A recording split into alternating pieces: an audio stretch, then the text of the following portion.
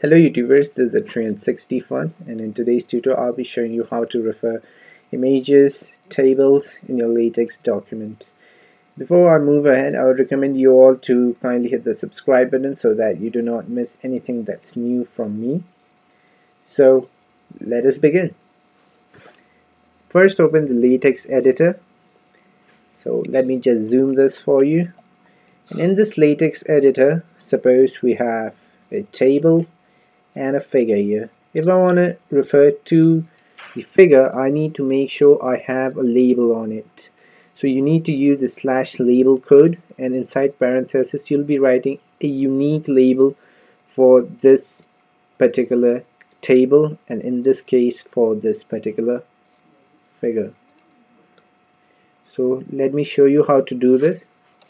So this is my reference to table. Then you'll insert this code slash ref open parenthesis and you'll write this label which are written here. So this can be different in your case.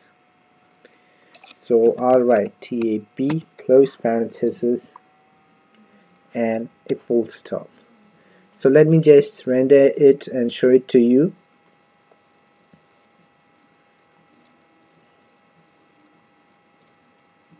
so this is my reference to table 1 this is table 1 similarly if we'll have another table so automatically this will be table number 2 let me just write this a, a, a. so I'll copy this paste it here right? Refer a a a. So you'll note this that this will be automatically table 2 so it'll make things quite easy in your document. You won't have to remember the table which you are referring and you simply need to know the label. Similar is the case with figures alright this is my reference. This is my reference to figure.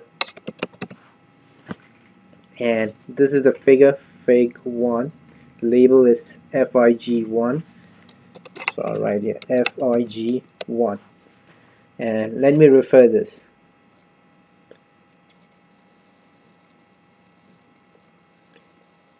and this is my reference to figure 1 you see that the labels for tables get arranged in an ascending order in the document and the labels for figures to get arranged in an ascending order in the document. You do not need to worry anything about that and simply need to focus on your work.